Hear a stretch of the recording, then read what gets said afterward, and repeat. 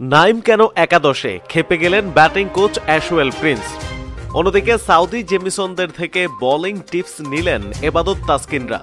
বিস্তারিত জানতে ভিডিওতে লাইক দিয়ে চ্যানেলটি সাবস্ক্রাইব করে না টেনে শেষ পর্যন্ত দেখুন। মাউন্ট মঙ্গানুয়ে ইতিহাস গড়া বাংলাদেশ দল সিরিজের দ্বিতীয় টেস্টে ক্রাইস্ট চার্চে হেগলি ওভালে চরম ব্যাটিং বিপর্যয়ে। নিউজিল্যান্ডের করা পাঁচশো একুশ রানের জবাবে ব্যাটিংয়ে নেমে ট্রেন্ট বোল্ট টিম সাউদি ও কাইল জেমিসনের গতির মুখে পড়ে ইনিংসের শুরু থেকেই উইকেট হারিয়ে ম্যাচ থেকে কার্যত ছিটকে যায় বাংলাদেশ। সাতাশ রানে পাঁচ উইকেট হারানো বাংলাদেশ, এরপর ষষ্ঠ উইকেটে ইয়াসির আলী রাব্বি ও নুরুল হাসান সোহান জুটিতে তুলে নেয় ষাট রান। একটা সময়ে পাঁচ উইকেটে বাংলাদেশের সংগ্রহ ছিল সাতাশি রান। এরপর আবারও ব্যাটিংয়ে ধস। শেষ দিকে উনচল্লিশ রানের ব্যবধানে পাঁচ উইকেট হারিয়ে একশো ছাব্বিশ রানেই অল আউট বাংলাদেশ। দলের হয়ে ইয়াসির আলী রাব্বি আর নুরুল হাসান সোহান পঞ্চান্ন ও একচল্লিশ রান করেন।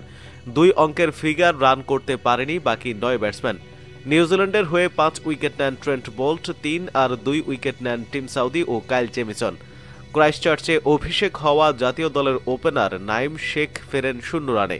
প্রশ্ন উঠেছে, জাতীয় লিগে দুর্দান্ত পারফর্ম করা ফজলে মাহমুদ রাব্বিকে রেখে কেন নাইমকে ওপেনিং করানো হলো? এ ব্যাপারে ব্যাটিং কোচ অ্যাশওয়েল প্রিন্স বলেন, আমি তো নির্বাচক প্যানেলের কেউ না। এই প্রশ্নের উত্তর নির্বাচক প্যানেল থেকে পেতে পারেন। নাইমও তো একজন ওপেনার যদিও টি টোয়েন্টিতে সেখানে তো সে ভালোই করছে। অন্যদিকে সাউদি জেমিসনদের থেকে বোলিং টিপস নিলেন এবাদত তাসকিনরা। নিউজিল্যান্ডের দুই তারকা বোলার টিম সাউদি ও কাইল জেমিসন বোলিং নিয়ে কথা বলছেন আর মনোযোগী ছাত্র হয়ে শুনছেন বাংলাদেশের এবাদত হোসেন, শরীফুল ইসলাম ও তাসকির আহমেদ। একেই হয়তো বলে ক্রিকেটের সৌন্দর্য। বাংলাদেশের বোলাররা ক্রাইস্ট চার্চে কিউইদের একটি উইকেট শিকার করতে তুলেছেন নাভিশ্বাস টেস্টের প্রথম দিনে মাত্র একটি উইকেটই শিকার করেন টাইগার বোলাররা। অপরদিকে বাংলাদেশি ব্যাটারদের উইকেট যেন মুড়ি মুড়কির মতো শিকার করেছেন কিউই বোলাররা। তাছাড়া নিউজিল্যান্ডের এই পেস আক্রমণকে পৃথিবীর অন্যতম সেরা পেস আক্রমণ বললেও ভুল হবে না।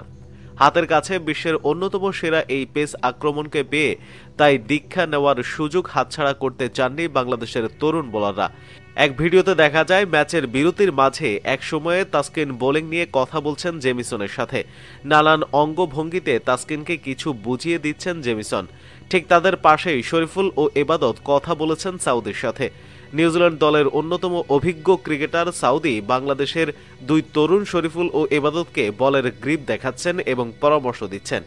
এই পরামর্শ কতটা কাজে লাগাতে পারবেন তাসকিন এবাদতরা হয়তো সহসাই দেখা যাবে না। কারণ বাংলাদেশ যেভাবে ব্যাটিং করছে, তাতে দ্বিতীয় ইনিংসে তাদের বোলিং করার সম্ভাবনা যে খুবই কম।